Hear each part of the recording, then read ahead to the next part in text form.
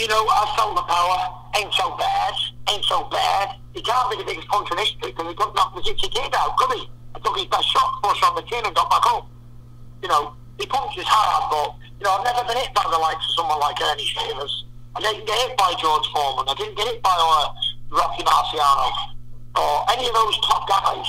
I didn't get hit by them, so I can't comment. So he's the biggest puncher in history, I'm not really sure because I didn't get hit by all the guys in history. But, you know, I don't think he punches harder than Vladimir Klitschko. Vladimir has a massive knockout uh, punch, a lot more fights than Wilder as well, 65 contests. Um, make no mistake, all heavyweights punch hard, and they can all knock anybody out. Wilder, I don't think it's so much his power, it's his, um, it's the speed he lands, which is, uh, it can be tricky when you're not, when you don't see it coming. But then again, any, even a guy who's got no knockout ratio, if, you, if he hits you and you don't see it coming, and he's going to put you down. But actually feeling punches in fights, I'm not familiar with it because I don't feel any punches when I'm in the ring because the adrenaline's flying high and you're in a fight, you don't feel the punches ever. I wouldn't say that was the toughest fight. I'd say that was one of my easiest fights, to be fair. Um, other than the two knockdowns, it was a pretty one-sided fight. Um, yeah, I've had much difficult fights than that before, much much more harder than that.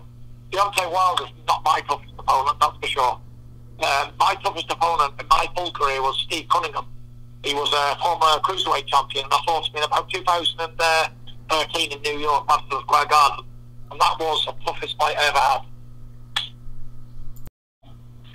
At that time in my, in my, my life, I'd never fought anybody like Steve Cunningham. He was a, he won the IBF title like a defended it and uh, maybe seven times or something like that. He was unified champion, and it was my first step up like onto anybody with that type of ability. Um, and he was slick and he was uh, hard to hit.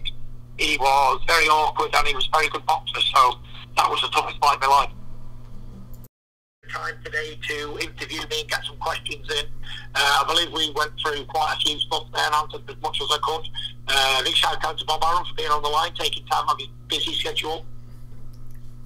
Um, and don't forget to tune in on ESPN Plus and Fox Pay Per View BT Sports, February 22nd, be the most entertaining fight of the last 20 years. Be there or be square. Peace out.